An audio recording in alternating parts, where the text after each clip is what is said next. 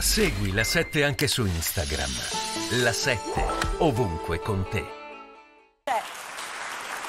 La macchina del Sono tempo. punti di vista, esatto. A me sembra as- assolutamente terza questa magistrata, tant'è che si è messa in una situazione di pericolo perché in un momento in cui c'è un governo così forte si oppone a un decreto, quindi ha sicuramente dimostrato grande indipendenza. A me non sembra, cioè, non ci piove sul fatto che poi quel decreto sia che anticostituzionale. diciamo, ci sarà qualcuno che noi, eh. deciderà, però insomma la- la- anche quel decreto europeo dice che la, la detenzione può essere solo l'ultima razio, che comunque deve essere un provvedimento Diciamo, non individuale. hanno sembra campata in aria appunto. per chi ha a cuore determinate cose. Per- a lei sembrerà assurda, ma per fortuna non decidiamo né Però noi eh, né lei. appunto è così importante l'indipendenza, sono situazioni che ci fanno capire quanto sia importante la divisione dei poteri, perché appunto l'indipendenza della magistratura è fondamentale nel caso in cui eh, delle persone debbano subire punizioni ingiuste, per fortuna ci sono persone che si possono opporre. Che Giorgia Miloni è finita nell'angolo in cui era finito Berlusconi.